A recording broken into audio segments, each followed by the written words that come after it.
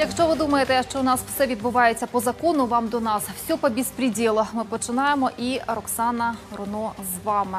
З вами також і Гаррі Табах, воєнний капітан первого ранга воєнно-морських сил США відставки. Добрий вечір. Добрый день, добрый вечер. Привет, Украина. Поздравляю вас с такой прекрасной студией, красивой, большой. Ну, как и американцы, зашли, улыбка, комплименты, расположить к себе. Спасибо.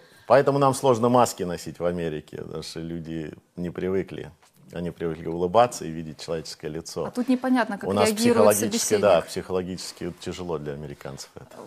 Как, во-первых, долетели? Отлично долетел, был хороший полет. В аэропорту в Борисполе было все здоровски организовано. Сразу проверили, сразу поставили этот ш- на Тест? карантин а, апплики- аппликацию и сделали тест. Через э, несколько часов мне пришло, что я не зараженный коронавирусом, и я свободно могу жить, передвигаться по Украине. Все было прекрасно. Вы уже Но самолеты были забиты, конечно. забиты, все там Все придерживались. летят в э, Украину теперь, да. А, то есть все придерживались э, норм. Ну, поскольку, поскольку. Ви- могли. Вижу, что нет. Ну вот пару слов, как пережили и как переживает э, карантин Америка. Ну, сегодня Америка переживает не просто карантин. У нас сегодня там все эти беспорядки перед выборами, поэтому это все как бы скомкано в одно. И э, думаю, многие наши политики вообще сходят с ума, потому что они говорят, ну там на похороны нельзя собираться, а в спортзал ходить нельзя, школы должны быть закрыты, а вот бунтовать и вот на эти ходить митинги без масок, без всего ломать магазины, грабить, это пожалуйста, это ваше право. А, но это в основном в демократических штатах или в демократических городах. Конечно, в республиканских ничего подобного нету.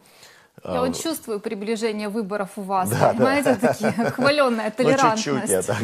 Это тут Но я думаю, это небольшой секрет, что я трампист, поэтому э, я всегда вкидываю что-нибудь такое. Но это понятно, и, конечно, люди, которые хотят идти на работу, которые должны платить налоги, за чей счет все это происходит, они, конечно, в основном республиканцы.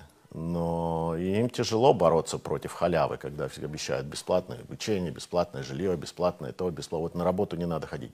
Проблема сегодня в том, что у нас сегодня по безработице платят людям больше, чем если бы они были на работе. Поэтому, выбор очевиден. да, тогда, ну. поэтому им на работу выходить нету никакой выгоды. Вот все, коммунизм, приехали. Но мы-то с вами знаем, что это такое, как обманчиво это, вся эта бесплатное жилье, бесплатная учеба, бесплатная медицина. У вас же тоже все это было, Было когда-то да. бесплатно, потом да, за но вам это- не понравилось, да, поэтому лучше, за, лучше заплатить. Пару слов об этом движении Black Lives Matter. В- Говорили, то, вот вы уже начали говорить о том, что демократы как-то поддерживают в отдельных штатах, э, можно митинговать, можно высказывать там свою точку зрения, становятся на колени, вот таким образом оказывая поддержку. Сейчас это найдет на спад или все равно это придерживается Нет, это на каком-то уровне? Но это не только демократы, республиканцы тоже говорят, пожалуйста, митингуйте, с- с- а, с- э, но если это вы митингуете в законе, вы не вытаскиваете людей из машины, не, бьё- не бьете их, не, не атакуете полицию, не стреляете друг в друга, потому что у нас огромные начались отстрелы между бандами, между э, разными э, мафиями там в Чикаго, в э, Лос-Анджелесе, в Нью-Йорке в этих демократических, конечно, а, ну, как, а демократы говорят, ну ничего страшного, это нормально, мол, это ничего, ничего такого нет. Конечно, ну, это против. Я даже недавно был на передаче с одной такой левацкой девушкой, ну не девушкой, вообще не знаю, женщина она или нет, но э, потому что она из Калифорнии, и вот она мне, она такой, такая была удивленная, она говорит, «Ну почему вот митинговать? Вы защищаете тех, кто митингует, там вот Юра очень там за Майдан, за украинцев, когда там Гарри, за украинцев там, и он все время это борется и говорит, как они здорово все это сделали, как они организовались. А сейчас поддерживают там многие белорусов, вот белорусы правильно, что они митингуют, и выжить тоже против вот Black Lives Matter, против антифы, против этих э, черной жизни, не знаю. И я говорю, потому что огромная разница. Когда люди выходят на митинги, это народный гнев, и а, они хотят а, свергнуть власть, которую невозможно свергнуть через а, выборы, через конституционные институты, то у них больше нет выбора, они выходят на улицы, и они мирно, голос, мирно митингуют. Ну, на Майдане не было не было убийств среди тех, кто митинговал. На Майдане не было, чтобы грабили магазины, чтобы вытаскивали людей из машины и их били, просто потому что они там э, не той внешности или не тот крест у них висит. Mm. Не было э, то же самое в Беларуси, нету этого, нету грабежа, нету погромов. А в Америке эти люди, Антифа и Black Lives Matter, они устраивают погромы. Ну, мы и видели, это... как там плазму выносят, магазины Конечно, грабят. там, Поэтому себе это, это не мирные протесты. Это не мирные протесты. И, и требования. У вас было требование, у белорусов требование, чтобы им эмансипированная власть ушла и настала демократия. А у этих какие требования? У них же требований никаких даже нет. Они просто жгут, грабят и атакуют государство. Они анархисты. В основном это молодые белые люди, а не черные. Как ни странно, Гарри, да. вы очень успешны в своей карьере. Спасибо. И что самое, наверное, будет удивительное, что вы все-таки родились в СССР. Ну, да, ну, тогда. да, в России. Э, мало кто знает, у вас одна из самых успешных э, карьер, если говорить о выходцах да. Союза э, в Штатах. Да. Спасибо. Небольшая визитка мы подготовили, чтобы знали зрители наши я, тоже. Я, я думаю, что будут еще. Уже есть ребята, которые подрастают. Нет, ну вот когда удачно. они будут, тогда мы будем о них говорить. Кстати, пока... а я скажу вам про одного, извините, что да. я... А один выходец из Киева, рожденный в Киеве, и его зовут Дмитрий Тудор. Он угу. сейчас полковник в авиации медицинских войск. Он очень знаменитый хирург. Он первый, который пересадил кисти, две руки, с трупа живому человеку. Уникально. Я думаю, да. что украинцы меньше знают о своих а, это не герой, не знаю, там, не, ну достижениях это, да, своих достижения людей великое, за, да. за границей. Визитка все равно смотрим и напоминаем нашим зрителям, кто вы и чем знамениты. Гаррі Табах, командор, капітан першого рангу ВМВ в США, народився на початку 60-х років у Москві в родині лікарів. Ще до закінчення школи у 1976 році Юра саме так звали хлопця у радянський період його юного життя разом із батьками, старшою сестрою та бабусею емігрує до США. По закінченню школи у Філадельфії Гаррі вступає відразу до двох навчальних закладів одночасно: військового училища та фармакологічного факультету. Проте Гаррі обрав кар'єру військового і, пройшовши у 1986 році десантну школу, новоспечений лейтенант стає морським десантником. Його військова кар'єра тривала 26 років, під час якої родина переїжджала із місця на місце 19 разів, але завжди залишав сім'ю, коли мав відрядження до гарячих точок, серед яких були і Нікарагуа, і боротьба з тероризмом тероризмом на близькому сході і пошук там же зброї масового знищення. Як досвідчений командир очолював антитерористичний центр НАТО в Туреччині і Іраку, а закінчив кар'єру військового у Москві, начальником штабу військової місії зв'язку НАТО в Москві, представник НАТО в Росії. Він змінив сімейну справу. Тепер табах це не лікарі, а військові. Морським офіцером стала його дочка Мішель, яка ж служить старшим лейтенантом на бойовому кораблі. А от син Ерік обрав кар'єру актора та навіть зіграв у одному з епізодів легендарного серіалу Закон і порядок.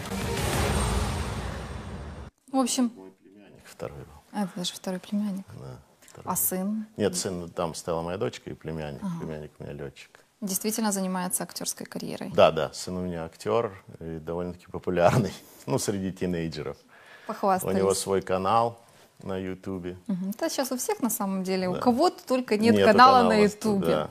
Вы были представителем НАТО в России и руководителем э, военной миссии. А, потом не сложилось. Я так понимаю, что вы не въездной сейчас в Россию. По каким причинам? Чего вы опасаетесь? Ну, Э, я лично ничего не опасаюсь, но мне сказали, что, как уже в России, ну это мне давно уже сказали, что в России меня арестуют и обвинят в чем-то и поменяют на Бута. Ну и что происходит сейчас? Уже арестовали двух бывших морских пехотинцев э, за какие-то глупости, э, непонятно за что их арестовали, и присудили им какие-то сумасшедшие года в, в заключение два, в принципе, сержанта, которые когда-то были сержантами в морской пехоте. Поэтому э, мне первоначально не дали визу, э, визную в Россию, и сказали, что я не визной, что я персона нон-грата, что я ни, никогда не въеду пока что. Потом как якобы мне сказали, что я могу въехать, мне начали звонить мои друзья россияне, говорят, ну я уже тогда, ну тогда уже с Россией совсем, уже это было пост Майдана, я уже стал выступать за украинскую сторону и говорить, что ну, Путин не прав, Путин опасен, это ядерная держава, и он начинает войны со всеми и действует как Гитлер, в принципе, а мир реагирует на него, как на Гитлера. Мол, ну ничего, чуть-чуть Грузии взял, ничего страшного, ну чуть-чуть Украины взял, тоже ничего страшного, успокоится таким образом. А, и вы же и, поняли, что я уже понял, что я не, нет, я уже туда никогда не въездной, да. Это, это второй раз, это не первый раз. Это уже второй это раз. Это второй раз. Первый раз я служил в посольстве, а, и в 2000 году и 50 американцев были высланы, 50 россиян было выслано из США, и 50 военных было выслано из России. Вы в том числе? Я был в том числе. Но потом я вернулся как офицер НАТО, а не как американец. Ну и тоже не сложилось. Не складывается у вас в России. С Россией да. у многих не складывается, тем не менее, да. Ну и сейчас, э, ну у меня, конечно, много друзей, много знакомых, много мыслящих людей, когда начался вот Крым, и Майдан, многие перестали быть моими друзьями. По а многие, причине? Да, По а многие, причине? ну, потому что они считали, что Крым их. Я пытался объяснить, что нет, есть договоры международные, что это что так не работает, что были гарантии даны, что были меморандумы подписаны. Это, это невозможно. Ты подписал договор, ты живешь в квартире, а потом приходит э, кто-то и говорит, нет, это моя квартира, потому что она там принадлежала моему прапрапрадедушке когда-то ну, последний-то договор, что это твоя, поэтому всегда... Ну, в общем, я пытался это все объяснить, весь порядок, э, э, как мы живем в законе mm-hmm. или по понятиям, там вы решайте, но по закону это неправильно, это, не, это опасно. Это очень опасно, это создает прецедент, можно было это решить все другими э, путями, заняло бы долго, заняло бы дорого, но мог, могли решить это как союзники, как братские народы. Решаемы такие вопросы, есть прецеденты этому. Но Путину нужно было быстро это э, создать для себя поддержку народа, консолидировать, используя... Меня больше всего раздражает, что это никакой фантазии, никакой креативности нет. Вот у моего сына больше этого, да. Потому что могли по-другому, а было опять. Если мы не войдем в Крым, завтра тут будут натовцы. Вот одно и то же, одна и та же пластинка. Если мы сюда не придем, если мы не будем в Сирии, там будут натовцы. Если мы в Афганистан не войдем, там будут натовцы завтра. Mm-hmm. Да зачем в Крыму быть натовцем? Черное море окружено натовскими странами, натовцы везде там, кроме зачем еще одна нужна? Это было просто для народа, и поэтому но сегодня я уже слышу от многих, от своих товарищей, друзей в России, что они э, сидят, смотрят и говорят, ну что, мы хуже грузин, хуже белорусов уже, и хуже украинцев. Вы про Хабаровск, там, где начинаются протесты? Ну нет, вообще, угу. вот люди, которых я знаю лично. Ну, то есть они сидят и говорят и думают. Ну, конечно, они сидят, смотрят и говорят, а с нами-то что не в порядке? Мы что, хуже? А я говорю там на разных программах, везде говорю, да, хуже. Получается, Но это вы на программах хуже. говорите, что хуже, а что вы в личных э, диалогах с ними говорите? Я им говорю то же самое. А я человек военный, я что на программах, да. что им, я говорю тоже. Э, я говорю, что да, вы хуже, получается, что вы крепостные, вы хуже, вы не можете. Они могут, а вы нет. И тогда как живите военный? с этим. А, Гарри, как военный, скажите свою точку зрения по поводу Крыма, потому что очень многие спекулируют на том, что вы не защищали, обращаясь к украинцам. Если бы тогда не было приказа или не было такого желания оставаться в казармах, вы могли все это закончить в первые дни, когда там появились эти зеленые человечки без опознавательных знаков, непонятно кто это, непонятно что это, ну вы просто испугались. Военный аспект тогда мог решить эту ситуацию? Нет, не мог пролилась бы просто кровь. И не мог, с моей точки зрения, не мог, потому что там была российская база, она была а, сформи... поддер... она... Черноморский флот. Да, но она еще там была, по-английски говорили, reinforced. Э, они еще укрепили. Э, Украина, я думаю, верю в то, что все-таки демократически построена европейская страна. Поэтому она не ожидала войн, с кем ей воевать кто у нее что хочет отнять, зачем, для чего. На эти вопросы невозможно ответить. Если бы мне там, я не знаю, в январе, в феврале 2014 года сказали, что Россия нападет на Крым и отнимет Крым насильным военным образом, я бы сказал, что они чокнуты. Я думаю, я не один такой, я думаю, что много, и многие люди в, у власти тогда, и многие люди в военачальники тоже не предполагали такого, не, не подготавливались к войне с Россией в Крыму. Э, сейчас мы смотрим на это и говорим, а, ну да, вот это да, это, конечно, надо было предсказать. Но тогда предсказать, э, многие предсказатели предсказывали совершенно другое. Ваши же журналисты, ваши же политологи, западные журналисты-политологи э, такого не предсказывали. Наоборот, сказали, что Украина она такая пророссийская, она будет с Россией, это, ничего такого не случится. Это первое. Второе, были не подготовлены к этому и не, не войн, ну, Россия подготавливалась к этой войне, а Украина нет. И, конечно, когда такое происходит, то вы проиграете. А, э, поэтому сегодня, когда начинают говорить о России, я всегда говорю, сегодня украинская армия – это не армия 2014 года. Сегодня вы подготовлены, сегодня вы каждый день ожидаете какую-то атаку. Поэтому, наверное, надеюсь, она не придет, потому что вы к ней готовы. А тогда были нет. И второе – это то, что, как во всех цивилизованных странах, э, демократических, где вы не боитесь своего народа, вы не отсылаете солдат служить далеко от дома. Что вот он родился там, я родился в Москве, а меня послали служить в Хабаровск. Угу. Потому что что я имею общего с этими людьми? Для меня это чужие люди. И поэтому, если что-то случится, меня там, я могу по ним стрелять. А в, а а в Крыму вас... были украинские части? Конечно, были, но угу. они были крымчанами. Их далеко от дома не посылали служить. Они служили там, где они жили. Поэтому это были в основном местные части. И им начать войну у себя дома было, конечно, тоже сложно. Особенно не, это второе. Ну а третье, конечно, что э, многие люди, я думаю, не понимают или не задумываются про это, это то, что э, то, что люди доверяли России, то, что люди... Э, тут не только война, Почему вот украинцы меня сейчас спрашивают, почему украинцы вот так вот ведут, почему они вот так вот обозленные? Я говорю, потому что это не только война. Война есть между арабами и израильтянами, война была между немцами и, Советским Союзом. Здесь предательство. Здесь, здесь часть, здесь самое главное не война, здесь самое главное предательство. То, что когда Украина оказалась в самом таком слабой ситуации, где она меняет власть, где у нее происходит смена власти, где народ требует одно, Россия использует этот момент Это понятно, слабости. естественно. А говорят, ну а кто бы не использовал? И отнимает... Слушайте, у соседей так кто бы ну, не Америка использовал? бы не использовала, так. Германия, Польша не использовала, никто вокруг mm. вас не использовала этот момент отхватить у вас кусок земли, даже если они считают, что когда-то эта земля была их.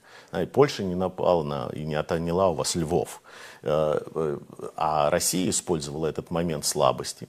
Так партнеры, так брат, братья не поступают. Наоборот, когда у тебя mm-hmm. такая ситуация, что ты заболел, а это революция, это болезни, ты должен помочь им, ты должен помочь народу. А Россия взяла и отняла кусок. Если ретроспективно смотреть, другого варианта исхода Крыма быть не могло. Армия украинская на тот момент слабая, политически понятно все аспекты, все. То есть аннексирован, по-другому быть не могло, и изменить ситуацию ничего в тот момент не могло. Украина? Да. Конечно, не могла. Но это не значит, что Россия и Путин поступили благородно, честно или правильно, или по закону, или по порядку, или по понятиям, как угодно. По всем параметрам это было неправильно. Донбасс. Со... Угу. Это создано было, ситуация создана была, понимаете, люди, которые в этом не участвуют, или люди, которые никогда не видели этих кошмаров, этих ужасов, они не совсем понимают. Для них это кино, для них это абстрактно. А если вот вдуматься, не только сколько солдат погибло,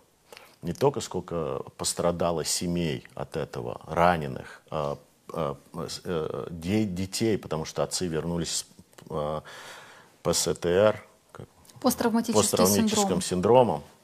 Э, не только это, сколько беженцев, сколько людей потеряло дома, которые они строили, заводы, бизнесы которые они лелеяли, строили, выращивали, и все это разграблено, все это уничтожено. Это большая трагедия, это большой шок для нации, большой шок для, для людей. Э, народы, которые э, геноцидные, в том числе и украинцы, из-за Голодомора, для них это очень болезненно переносится. Для них это такая генетическая память ужасная. Но у нас разрушен еще и Донбасс, и те заводы, да. которые вывезли, это вывезли в том числе из территории Донецкой и Луганской областей. Да. И сейчас, если Крым аннексирован и говорят на повестке, если мы говорим о международной, то ну, как бы этот вопрос пока еще ну, не стоит. Если говорят еще активно о Донбассе, что там делать, как это урегулировать, там Минские соглашения, работают они или не работают. Да, ну вы так скептически сейчас усмехнулись, вижу свой взгляд на эти вещи, то о Крыме сейчас вообще не говорят говорят, Донбасс стоит сейчас на повестке международной? Я думаю, что да, конечно, стоит, потому что в, вообще, когда происходят в Европе такие, когда одна страна начинает войну с другой, то это очень быстро может э, распространиться, раскинуться на другие территории, другие страны, э, другие примеры. Люди смотрят. Э. Я уверен, что сегодня Владимир Владимирович сидит у себя там в Кремле или где он сидит, в, Кры... в... в Сочи, и он очень наблюдает за Белоруссией, за Украиной. Он получается такой очень изолированный. Он понимает, что у него что там на Дальнем Востоке происходит, в Хабаровске. Я думаю, что он переживает. Он переживает, он понимает, что он остался один и что а, людей контролировать сложно, особенно вольнодумающих людей. В конце концов, Есть ли это они все там взорвется. эти вольнодумающие в России? Это хороший вопрос. Я думаю, что есть просто процент этих вольнодумающих очень маленький, потому что да, в Хабаровске идет, идут протесты, а 100 километров от Хабаровска уже ничего не происходит, а страна огромная. А, Это не как в Украине произошло, когда со всей страны съехались на Майдан миллион людей. Хорошо, вы трампист, вы об этом откровенно признаетесь. Да, я признаюсь. А, Вы говорите одновременно, что на Путина реагируют как на Гитлера. Международное Не, сообщество реаги- не реагирует, должно реагировать, но, к сожалению, не реагирует. не реагирует. Эм, Тогда отношение или риторика Трампа по отношению к Путину, тем более страна, да, с тем нужно говорить, да, похлопает по плечу. Ну, то есть это как-то не вяжется. Но я вам скажу такую вещь. Товарищ Сталин тоже давал орден Ленина прям за две недели до расстрела. Вот, например, моему брату моего деда после войны он подарил победу. Так тот чуть не помер от страха. И отдал эту победу детскому саду какому-то, но уже сложил чемодан. На всякий Да, случай. что он был уверен, что его арестуют. Мой дедушка расскажет, что он был уверен, его брат, что его арестуют. Ну, не арестовали, правда, слава богу, арестовали моего деда за место него. Ну, э, такое тоже бывает. Понимаете, Трамп, да, Трамп, он делец, он торгаш. Он не совсем то, что люди видят. Он говорит много вещей. В Твиттере он может написать такое, и все начинают, а делает он совершенно другое. Он как бы, такой у него отвлекающий маневр постоянно есть. Да, он хлопает по плечу, да, он говорит, классный парень, торсо такое хорошее. И тут же закрывает все консульства российские в Америке за Украину. В 2014-2015 году вам нужно было летальное оружие, больше всего. Конгресс разрешил. В 2014 году сразу же Конгресс разрешил. Поэтому вот эти слухи, что Трампа заставил Конгресс, брехня.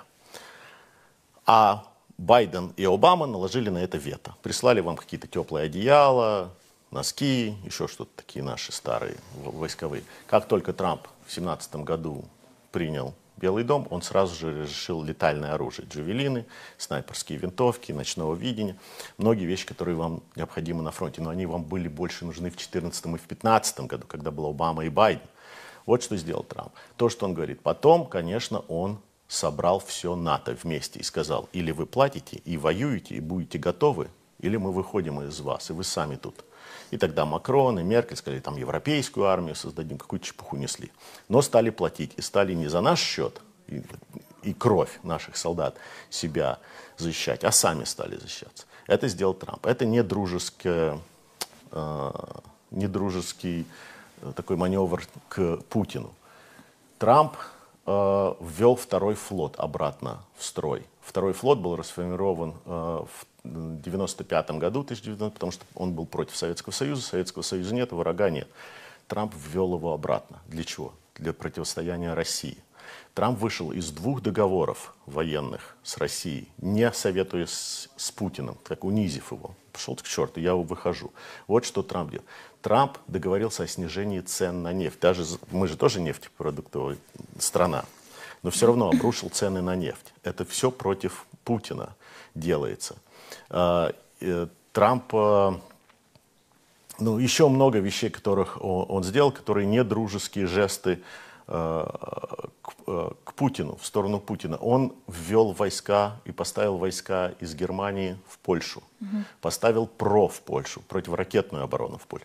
Все, что это все не для Путина, это, это наоборот. А то, что он его... по- Вот смотрите, вот что он сделал против Путина. А вы будете концентрироваться, он его по плечу похлопал. Он его пригласил в большую семерку. Правильно сделал, что он его пригласил в большую семерку. Потому что Макрон, Меркель, э, все остальные эти европейцы, они все равно встречаются с Путиным. Они летают к нему в Сочи. Единственный человек, который к нему не летает в Сочи, это Трамп.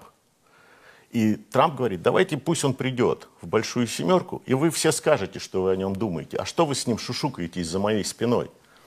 Давайте его пригласим его сюда и поговорим с ним об этом. Но это не наши СМИ левацкие, ну и ваши все СМИ. Этого не говорят. Они только подхватывают, что говорят демократы. А вот он пригласил его в большую семерку. Не объясняют почему. Хотя он несколько раз это объяснил. Я хочу, чтобы все было открыто, чтобы было все прозрачно с ним. А то вы с ним шушукаетесь. Меркель сразу же отказалась ехать на большую семерку из-за этого. Вот э, поэтому то, что он говорит, и то, что он хлопает по плечу, это одно. А вот то, что он делает, вы посмотрите, это совершенно другое. И это только на вашем а вообще на международном, с Гонконгом, с Израилем и арабскими странами, внутри нашей страны, с рынком, с безработицей, с экономикой. Но ну, люди да, будут... вернем, конц... сделаем Америку великой, великой опять. И как вы относитесь к словам Стива Беннона, это советник, с которым, в принципе, он в эти первые выборы, те первые выборы выиграл, и который ну, по тем словам, которые слили, я не знаю, насколько достоверно, что именно он правильную стратегию публичную придумал для а, самого Трампа, и, собственно, был такой оглушительный успех, потому что он нестандартный, он, не, он вообще протоколу чужд, ему это все условности, правила. И это любезности, все, он это, это все не его, него, да, то есть он может нахамить СМИ, писать у себя в Твиттере отдельную колонку, все, что он по этому поводу думает, и, в принципе, иметь всех в виду. Но есть такой момент, что он очень падок на отзывы о себе, о том, что о нем говорят, что он пересматривает Morning Jaws, это ваша там утренняя программа, э, смотрит, что о нем говорят, э, о чем говорят ведущие ток-шоу и журналисты, и об этом, соответственно, про таком компромате, когда типа он был в России, эти девушки, эти отели, все, что тогда было припасено еще там сколько, 15 лет назад. И вот именно этим его держат сейчас Путин. Путин. Знаете как что? вы к этому нечистоплотному компромату, не бизнесовому относитесь? Но... И речь идет о том, что тогда вызывали девочек к нему там в номера я... и все такое прочее. Я вам скажу, я прослужил во флоте 30 лет, я не удивлюсь, если где-то кто-то замешан в каких-то сексуальных отношениях. Трамп не скрывает, что он очень популярен среди женщин, да? А, даже если он пригласил этих девушек, и они написали на эту кровать, в чем криминал? Это что, противозаконно? Я не, не, я не понимаю это. А, это не репутационно. Не репутационно, да. Но у нас один из самых популярных теперь вообще-то это доказано уже, что этот стил досье придуман был и оплачен Демократической партией, придумал как раз с Россией. Как раз они были в сговоре с Россией, и наш глава ФБР в этом участвовал. Все они прекрасно знали, что это фейки, что это не то, но неважно. Даже если это правда, уже было много, пять расследований демократами, никак не могут доказать, все равно ничего этого не было. Но даже если это было, в чем тут проблема, в чем тут э, репутационно. Ну, тогда у Уинстона Черчилля была ужасная репутация. Он тоже был такой же неопрятный, какой-то противный, что-то говорил, не то хамил, надсмехался над людьми, но был гением. А вот на что, я думаю, надо смотреть. Ну, как-то люди говорят, о, ужасно, это ужасно. Они просто в шоке, даже одевают женские, тысячи женщин одевают женские половые органы себе на голову в форме шапочек и ходят и протестуют это. А вот у нас был один такой очень популярный президент, даже два. Ну, Кеннеди. Не будем так далеко ходить. Кеннеди. Другие, Обама? Другие времена. Нет, Обама, э, э, наверное, была там реверсная роль. Она, наверное, все-таки была президентом, mm. а он все-таки, наверное, был первой леди. И, э, но у нас был такой Клинтон президент, mm-hmm. который во время рабочего времени, за, мои, за мой счет, во время в своем рабочем кабинете, который я оплачиваю, э, имел неуставные отношения со своей подчиненной, что если бы у нас сделал это офицер, его бы отдали под трибунал, а он главнокомандующий. И использовал свою э, позицию официальную, чтобы вот с молодой девушкой иметь э, такие отношения, что овальный офис пришлось переименовать в оральный офис. И никто ничего что-то Не, поэтому... была попытка импичмента. Была. Ну, народу это было неважно, он, был, он сделал много хорошего для страны. Он все это сделал. Дело же было не в этом. Дело было в том, что он еще после этого еще и закон Соврал. нарушил. Он наврал соврал под, под присягой. присягой. Его лишили юридической, да, адвокатской лицензии за это. Но он остался президентом. А здесь Трамп чего-то когда-то, значит, э, был в России и, и нанял двух девушек написать на кровать. Сравните это и сравните это.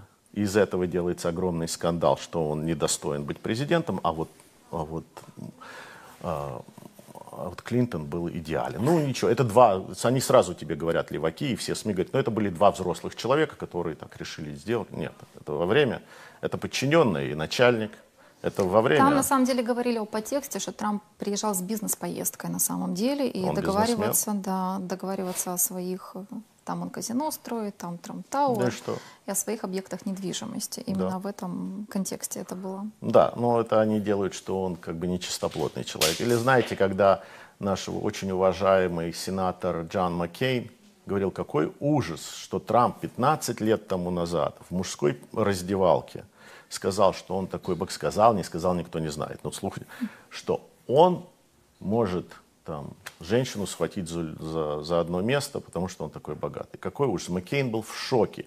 И если бы Джон Маккейн был жив сегодня, я бы его спросил, конечно, говорю, уважаемый сенатор, уж- я представляю себе, что на авианосце, когда вы служили летчиком на авианосце, вы такого никогда не слышали, чтобы там летчики или матросы между собой какое вот такое сказали. А вот то, что Трамп сказал 15 лет тому назад, может сказал, может быть не сказал, но даже если сказал, из этого вы будете делать трагедию, падать в обмороки по, по, посреди Сенака, как он такое мог сделать там 10 лет тому назад в раздевалке в мужской. Ну, главное сказать это на публику. А Вы хорошо так э, провели параллели по поводу отношений Трампа с Путиным. Я бы хотела ближе к нашему президенту, Трамп-Зеленский. Отношения Я не, не знаю, какие... У нас просто, я к чему веду, что у нас вечно президент, ну это понятно, что это там держава, сверхдержава, у нас вечно президенты подаются в прессе как стоящие с протянутой рукой, вечно ожидающие там терпеливо возле там, я не знаю, каких-то выходов, возле туалетов, встречи с, наконец-то там президент уделит пару минут, потому что и это потом преподносится как большое достижение, что-то договоренности, и это понятно. Тут как вечно просящие Я, ну, милостыню. я не знаю, конечно, я же не политик, и я не предсказатель. Э, И, я- и не надо сейчас меня будут обвинять наши зрители, что я, значит, сравниваю Трампа с Зеленским. Я их не сравниваю. Я сравниваю э, вещи э, о них, о них самих. Допустим, они оба не политика. Э, Тут кто-то не согласен с этим сравнением? оба. Оба шоумена. И оба бизнесмена. Зеленский тоже бизнесмен, насколько я понимаю. Оба не, не ординарные, не, не то, что мы привыкли видеть в политике. Э, В этом они похожи. Я не знаю, или кто-то сейчас скажет, вы зря их сравниваете, один там такой, а другой такой. Нет. Им обоим очень тяжело создать команду, потому что они не политики.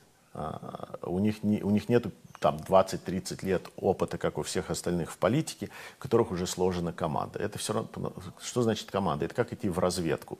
Да, это хороший снайпер, да, это отличный минер, да, это отличный медик, да, это отличный связист. Самые лучшие. Но если они вместе не могут работать, то команды нет. Это не только зависит от них самих, это зависит от всех остальных в команде. Чтобы сложить такую команду, надо перебрать миллион людей. Брата родного увольнять, брать другого. Этого увольнять, брать другого. Пока они под Я вам скажу отличие. Знаете, Гарри, какое? А, Трамп шел на выборы без лоббистов, насколько я помню. Больших лоббистов. В Украине очень Абсолютно сильно верно. влияние Это и проблема. олигархов. Да, и вот- сейчас связывают с некоторыми нынешнего президента. Правильно. Я с вами полностью согласен, что Трамп не использовал лоббистов. Он денег ни у кого не брал на свои выборы. И в этом-то, огром... поэтому его хотят смести. Он никому ничего не должен и делает то, что он считает нужным. И это раздражает всю элиту, это раздражает все это болото, которое он пытается слить, всю эту коррупцию. А, э, у вас, наверное, да, ситуация другая, потому что за Зеленским стояли какие-то люди, бизнесмены. Но неважно, э, это тоже такая роль, потому что все равно, когда ты становишься, я считаю, президентом, но это мое личное мнение, ты все равно должен, э, э, ты все равно должен думать и делать что-то о больших бизнесменов. Я не думаю, что президент Трамп может там обойтись без Маска или не, не брать его во внимание, или Гейтса, или Цукенберга. А он должен с ними, а на них огромная экономическая опора. Они, у них работают миллионы людей они создают э, инновации, на которых Америка держится. Поэтому, если он их не будет брать во внимание, то... Он с ними встречается лично? Он встречается, конечно, и он разговаривает, и он следит за этим, конечно, потому что и Конгресс, это все понимают. Поэтому во всех странах есть люди, с которыми надо считаться. С вами не надо считаться. Есть журналисты, с которыми надо считаться. Есть такие СМИ, с которыми надо считаться. Конечно, могут тебя уничтожить, а могут тебя создать. Это политика. Ты не можешь э, сказать, ну все, я стал царем и делаю, чего хочу. Нет, это невозможно ни в какой демократической системе. А, но я думаю, что Трамп человек денег. Он человек денег и договоров. Он не военный человек, он не воинственный. Поэтому все вот э, войны закончились сейчас. Посмотрите, он добился из Северной Кореи много. Он добился в Сирии много. Он добился сейчас, что Израиль уже подписывает мирные договоры и с Арабскими Эмиратами, и с э, Марокко, и с другими арабскими странами, которые были в войне с ними. Другой, хочет... другой бы президент уже бы получил бы давно Нобелевскую премию. Обама получил вообще непонятно за что Нобелевскую премию. Ну, дважды вы его избирали, я имею в виду американские избиратели, значит, было за что. Мне Но... Ну. все равно хочется вернуться к Зеленскому. Что а, о Зеленском говорят в США? Ничего о нем не говорят, потому что в США сегодня вообще об Украине идет очень мало речи, потому что у нас антифа, у нас протесты, у нас выборы, у нас по новостям э, в основном выливают где-то э, одно ведро дерьма на Байдена и два дерьма или три дерьма на, на, на Трампа. В, в этом CNN и Fox, и в этом, в принципе, заключается все. О других странах почти что речи не идет. Про Белоруссию практически что ничего не говорят. А, никого ничего не интересует, кроме вот сейчас выборов, и кто же будет у нас президентом, кто будет вице-президентом у Байдена, его, псих, э, его ментальное состояние Байдена, Трампа э, состояние с налогами, с, с тем, с другим. Все время э, идет такая драка между... Я бы даже сказал, что у нас идет не драка, у нас идет развод. Такой ужасный развод. Разводятся, как муж жена, когда разводится, и очень... Я думала, плохие... вы избирателей разводите, как Ну, избиратели разводят, э, это автоматически. Это святое. Да, это автоматически. По расписанию, это, да. да. А то, что мы разъединились так, разошлись в разные лагеря, и уже договориться мы не, не, не можем. И даже если, не дай бог, выберут Байдена, президент, я считаю, что это будет ужасно для Украины, я считаю, что это будет ужасно для Израиля. По какой причине? А, опять же, я не предсказатель. Я нет, только ну вы могу, говорите, да, я могу соответственно, только, были какие-то высказывания, я только, были Нет, нет, я только могу строить на том, на опыте, что произошло. При ком у вас отобрали Крым? Сейчас будете вспоминать Обаму. Угу. Нет, почему? Это Байден тоже. Байден, Байден был вице-президентом. При ком у вас э, пропало много денег? Э, которые Америка выделила и которыми приезжал сюда Байден, и каким-то образом его сын оказался... Буризма? В, да, в, и получал сумасшедшие деньги там, не зная ни языка, не понимая ничего. Понимаете, это коррупция. Кто а участвовал в украинской коррупции? Э, извините, на этом моменте давайте детально остановимся. Как у вас так получается, что внутри Америки боретесь с коррупцией, а ездите зарабатывать в Украину? Я, как дело вот в этом-то все и дело, что мы боремся с коррупцией. Мы с коррупцией боремся не только в Америке. Мы с коррупцией боремся и в России, и в Беларуси, и в Южной Америке, и в Африке. Мы везде. Вот в России, э, российские коррупционеры всегда смеялись. Российские коррупционеры приезжают в Америку, мы их арестовываем. Мы говорим, все, мы арестовали вашего коррупционера. Они говорят, да не, отпустите. Или украинского, да не, ничего страшного. Мы говорим, подождите, мы за вас сделали вашу работу, мы нашли вот доказательства, можете вы в тюрьму. Не, отпустите. А теперь выходит, что не только мы э, не участвовали, это э, мы, э, Байден возглавлял коррупцию в, в Украине. Наш Госдеп был причастен к этому. Все это сейчас всплывает. И, конечно, они хотят избавиться от Трампа, потому что это очень опасно. Потому что если он выиграет второй раз, то они все пойдут, пойдут под суд, потому что это уже они, они, они же не ожидали, что он будет президентом. Поэтому и посол наш здесь так себя вела.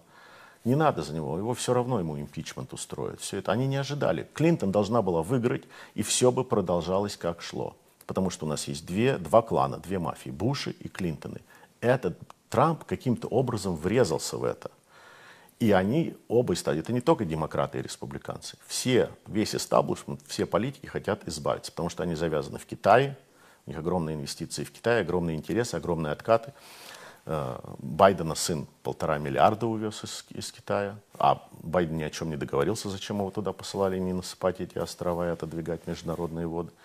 То же самое Байден сюда приехал и говорит, нет, не надо никакие антикоррупционные действия здесь делать, иначе я вам не дам миллиард долларов. И Шокина уволили.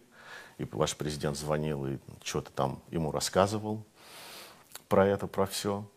И получается, что мы не то, что мы боремся с коррупцией, мы возглавляли ее здесь. И вот этот Трамп, теперь отношения с Зеленским, он говорит, дружище, но он Ты- тоже, получается, в телефонном разговоре, который Слили да, прям требовал, да. Не, он не требовал требовал. Он ему, он, нет, он, не, открыть. он, ему, он ему сказал, я вам переведу с английского на русский, потому что там в переводе много терять.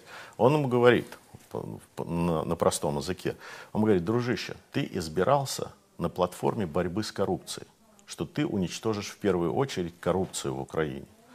По ходу наш бывший вице-президент и наш посол, и Госдеп, и многие другие участвовали в этой коррупции, разворовывании в твоей страны. Давай начинай расследование. Посмотри, что там произошло. Он, понимаете, это другое. Он, во-первых, хочет, как президент, узнать, кто у, у власти разва- участвовал в коррупции против Украины. Во-вторых, он хочет помочь Украине, чтобы Украина Ну и разобралась. помочь себе выиграть выборы. И помочь себе, а что тут плохого? Если бы он сделал другое, наоборот, если бы он позвонил и сказал, дружище, брат мой актер, там расследование идет, как Байден сделал. Так вот ты это расследование перестань, не расследуй. Не надо расследовать его. Закрой. Это поможет мне выиграть. Это другое дело. Вот это коррупция. А если он звонит и говорит, расследуй, узнай, что произошло. Вы сказали, что нашим коррупционерам ничего не грозит в США, даже если их задерживают, даже Не, если я не сказал, что не подозр- грозит. Я говорю, раньше это так было, что Раньше, смешно хорошо. это было. Сейчас это уже не так, потому что, насколько мы знаем, повторно по Игорю Коломойскому, это известный олигарх, известный бизнесмен, известный э, поддерживатель нынешнего президента Зеленского, опять там к нему есть какие-то вопросы, есть какие-то Ну, я знаю, что претензии. его здание там арестовало, ФБР что-то вынесло, из, они ведут расследование по, по его... Да, по его делу. деятельности. То есть а меня вот заинтересовала ваша фраза, что в принципе все это решаемо и вопросы могут сняться Я, в ручном вам, я режиме. вас уверяю, что если будет Байден президентом, это все решится. Это все будет э, поставлено на свои места, как политики договорятся, будут договорники. Все, проблема с Трампом, что с ним договорника нельзя сделать. Он непредсказуем в этом отношении. Он требует прозрачности и честности. И это очень недовольны многие коррупционеры, многие люди. Многие. А то, что, понимаете, э, там, когда говорят, ну вот Коломойский там поддерживает Зеленского, ну, я не знаю, должно пройти расследование. Я не хочу говорить, что он там криминал этот или криминал тот. Э, Пожалуйста, расследуйте всех, кого считаете нужным, но э, часто президентов, часто политиков поддерживают не самые чистоплотные люди в этом мире. Не все они были полковниками или генералами в вооруженных силах, и честь, и доблесть у них превыше всего. Потому что поддерживать нужно миллионами и миллиардами. Да. Откуда у полковников миллиарды Ну да, и миллиарды? нет, ну в России у некоторых есть, я слышал, А, да. ну тут Но, другая э, да, схема поэтому, работает. поэтому да, они должны, они имеют дело иногда с такими людьми. И Трамп имел дело с такими людьми, которых потом Вопрос арестовали, в том, потом. и сколько он имеет дела, а вопрос, чем он обязан за эту поддержку. Это другие Ну, да, вещи. ну, то же самое, я же говорю, что часто президент должен а, э, брать во внимание больших бизнесменов. Он не может, на них держится экономика этой страны или другой страны. И Это невозможно с ними не иметь дела или брать, не брать их во внимание, или не брать во внимание их интересы. Путин для вас это большой такой политический бизнесмен? Он не бизнесмен, он КГБшник. Он может крышевать, отнимать, шантажировать, а, разрушать, подставлять. Придумать какой-то бизнес он не может. Я Это не, в- не в его компетенции. Так, ну вся страна это один сплошной бизнес для него, нет? Но это его бизнес, и вот его личный бизнес, который он, он-то тем и отличается от царя. Для царя это были его подданные, это было его э, личное имущество, он должен это был беречь или лелеять. А Путин, он не царь, он КГБшник. Обнуление его сроков президентских на этом референдуме для вас что это? по-вашему? Абсолютно ничего. Это то же самое, что и Конституция сталинская. Самая гуманная, самая правильная Конституция за все времена во всем мире. То же самое, что, а вы что думали, что он э, уйдет каким-то образом или изменили бы они эту конституцию, не изменили бы эту конституцию? Это просто такое массажирование воздуха. Он бы все равно остался у власти. Не этим способом, то другим. Поэтому он сейчас немного переживает, потому что это та же такая схема, как и у Лукашенко была когда можно переизбираться сколько угодно. Ну, вот э, сколько угодно у Лукашенко не получилось. Вы следите за тем, что конечно, сейчас да, происходит? Конечно, не получилось. И то же самое у него не, не так получится. Это же, это же старый анекдот. Это сейчас они на Лукашенко переделали. А этот анекдот, по-моему, еще был 10 или 15 лет тому назад, когда приходит, я не помню, как, кто тогда был главой избирательного комитета в России, они приходят и говорят, у нас есть хорошая новость плохая для вас, Владимир Владимирович. Он говорит, ну давайте хорошую сначала. Он говорит, вас переизбрали в президенты России. Он говорит, а какая плохая? Он говорит, за вас никто не голосовал. Поэтому это уже давно идет этот анекдот. Это старый российский анекдот, э, который в каждом... Знаете, власть пошатывается тогда в России или там в постсоветском Союзе, когда про власть начинают рассказывать анекдоты. Все, значит, стул О, это советского времени. Да, это... советского времени. Если... Поэтому про Путина сейчас все больше и больше анекдотов выходит. И поэтому... На останок все равно про Беларусь хотела у вас спросить. Да. Э, много теорий сейчас и конспирологических, что это Россия. Да, здесь такой район, что конспирологические теории. Широко, широко поле для деятельности, творческой в том числе, что это Россия специально напоследок уже все-таки пытается либо убрать Лукашенко, либо оставить его при власти на очень слабом, чтобы можно было его контролировать.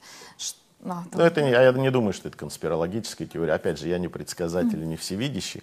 У вас достаточно в стране таких эм, мне нравится ваша студия, потому что у вас все молодые люди.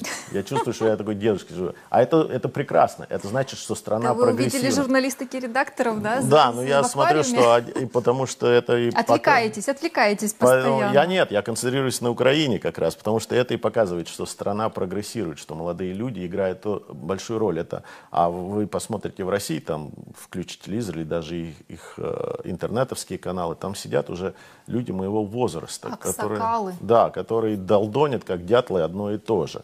А молодежь, она всегда это, это, это я вижу в этом огромный прогресс, кстати.